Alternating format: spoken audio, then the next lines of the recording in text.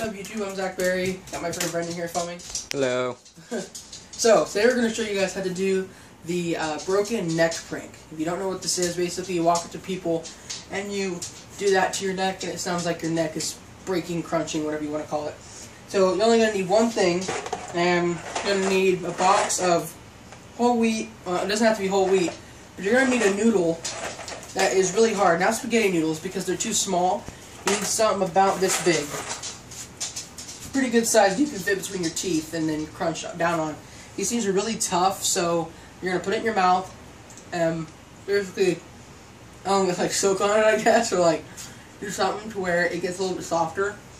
So, you know, this is a really good prank to pull on your family, friends, people in public. they think your neck is totally breaking. It's really funny.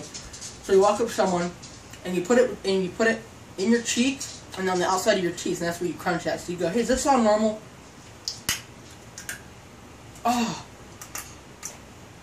Oh my god. But I have braces in, so I can't chew on the outside of my mouth, but or outside of my teeth. That's where the braces are. But basically, that's how you do the trick. And you don't. I mean, sure you're not talking to them with food in your mouth, like huh, huh.